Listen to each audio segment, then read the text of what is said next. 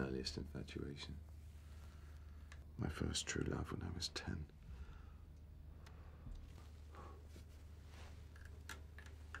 You're going to compare me to a bubble.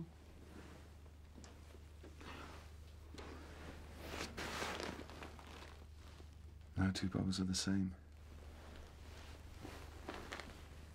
They share the same mathematical properties.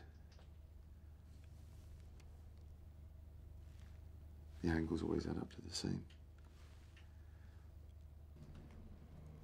120 degrees when the bubble's formed by three sides meeting on a curve.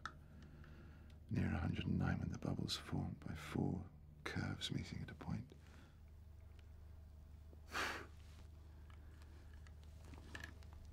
And that's why they're so beautiful.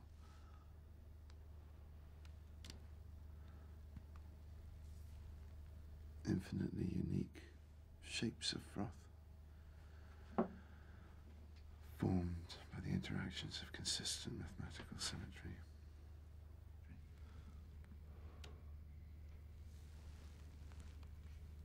I discovered this perfect world when I was 10. Very different from the chaos I'd been born into.